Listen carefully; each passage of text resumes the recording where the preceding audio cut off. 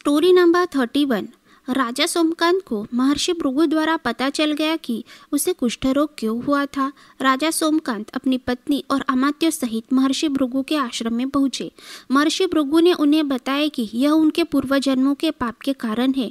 महर्षि भृगु ने अपने ज्ञान शक्ति द्वारा राजा के पूर्व जन्म के बारे में जान लिया था और अब उनको सुनाने के बारे में पूछ रहे थे।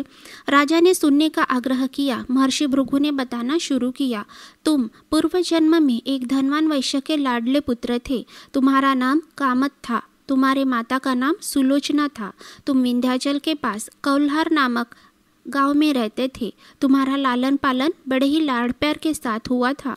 तुम्हारी पत्नी भी अत्यंत सुंदर थी, उसका नाम कुटुम्बिनी था।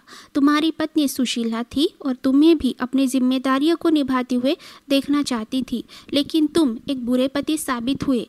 माता पिता जब ज़िंदा थे, तब तक तुम उनके सामने अच्छे से रहते थे। लेकिन उनकी मृत्यु के बाद तुम अपना रंग दिखाने लगे। तुम अनाचार में लिप्त हो गए। तुम अपने पत्नी की एक नहीं सुनते थे। तुम्हारा बुरा, तुम्हारा बुरा व्यवहार अपनी चरम सीमा पर था। तुम अपनों से भी द्वेष और क्रूरता का व्यवहार किया करते थे। हत्या जैसे घृणित कार्य को तुम सामान्य मानने लगे थे। पीड़ित व्यक्तियों ने तुम्हारे खिलाफ राजा से न्याय मांगा, अभियोग चला और तुम्हें राज्य की सीमा के बाहर जाने का आदेश मिला। तो फिर तुम निर्जन वन में रहने लगे। निर्जन वन में रहते हुए तुम लोगों को लूटा करते और उनकी हत्या किया करते। एक दिन दोपहर के समय गुणवर्धक नाम का एक विद्वान ब्राह्मण अपनी पत्नी को लेने के लिए ससुराल जा रहा था। तुमने उस युवक को पकड़कर लूट लिया। अब वह प्रतिरोध कर रहा था। तब तुम उसे मारने लगे। वह चिल्लाकर कहता रहा कि, उसे मत मारो। तुम गुस्से में इतने भरे थे कि तुमने उसकी एक भी बात नहीं मानी। उसने भी तुम्हें शाप दिया। मेरी हत्या के पाप से तू सहस्त्र वर्षों तक नर्क भोगेगा। फिर भी तुमने उसका सिर काट दिया।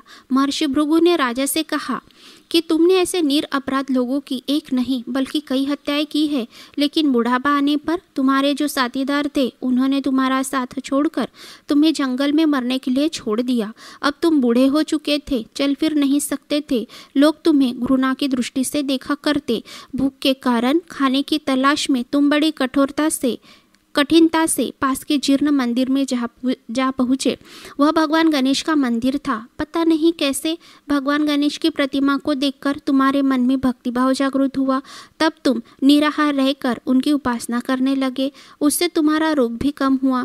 तुमने अपने साथियों से बचाकर बहुत सा धन इकट्ठा कर लिया था। वह धन तुमने मंदिर के जीर्णोद्धार के काम में लगा दिया। इस कारण तुम कुविख्यात से सुविख्यात हुए। फिर तुम्हारी मृत्यु होने के पश्चात तुम यमराज के सामने खड़े कर दिए गए। उन्होंने तुमसे पूछा कि तुमने अच्छे और बुरे दोनों ही कर्म किए हैं। दोनों के फल तुम्हें भोगने होंगे। तुम बताओ, पहले कौन से फल भोगना चाहते हो? अच्छे या बुरे? राजा ने सबसे पहले पुण्य कर्मों को भोगने की इच्छा जताई। इसीलिए फिर उसे राजकुल में जन्म लेने के लिए भेज दिया गया। पहले के जन्म में उसने भगवान गणेश का मंदिर बनवाया था। इसलिए उसे सुंदर शरीर मिला। यह कहकर महर्षि भृगु कुछ देर रुके, क्योंकि उन्होंने देखा कि राजा को उनके द्वारा बताई गई बातों पर शंका हो रही है। तभी महर्षि के शरीर से असंख्य विकराल पक्षी उत्पन्न होकर राजा की ओर झपटे उनकी चोच बड़ी तीखी थी। वे राजा के शरीर को नोच नोच कर खाने लगे। इस कारण राजा के शरीर में असह्य पीड़ा होने लगी। राजा ने उनके कथन पर शंका व्यक्त की थी, इसीलिए महर्षि, जो कि हमेशा सच बोला करते थे, उनके शरीर से असंख्य विकराल पक्षी प्रकट हो जाते थे और उनके हुंकार से ही भस्म भी हो जाते थे। इसके बाद राजा ने रोते हुए ऋषि से क्षमा मांगी। महर्षि ने कहा कि, तुम पर भगवान गणेश की कृपा है। वही तुम्हारे सारे पापों को दूर कर सकने में समर्थ है। इसीलिए तुम भक्ति भाव से और श्रद्धापूर्वक उनका पापनाशक चरित्र सुनो, जो गणेश पुराण में लिखा गया है। इसके बाद की कहानी अगले वीडियो में सुनाएँगे। तब तक पढ़ते रहिए, खुशहाल रहिए। धन्यवाद।